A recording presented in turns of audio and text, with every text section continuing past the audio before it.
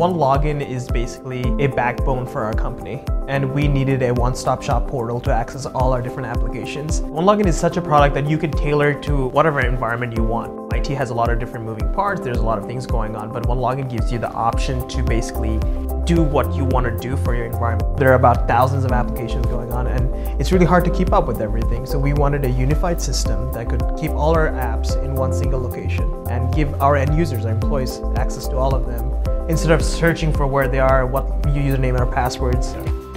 OneLogin provides an end-to-end solution from an endpoint security, single sign-on, authentication, provisioning. It's a one-stop shop.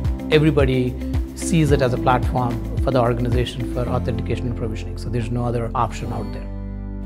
My favorite part of OneLogin is the adaptive MFA. That is one feature that's really critical to us. A lot of our executives and senior engineers travel internationally, and one of the, the features of that adaptive multi-factor is uh, impossible travel. So for example, if somebody logs in in Los Angeles and then five hours later they log in in China, it will automatically block them. Our user base is internal users, about 80,000 strong. The, the way we manage them initially was very manual. So the main purpose of OneLogin and, and basically before we were looking at, at the solutions was to ensure that our process is streamlined when it comes to onboarding and creation of users. Number one was the security. Number two was obviously the speed of onboarding, which both OneLogin has provided for us.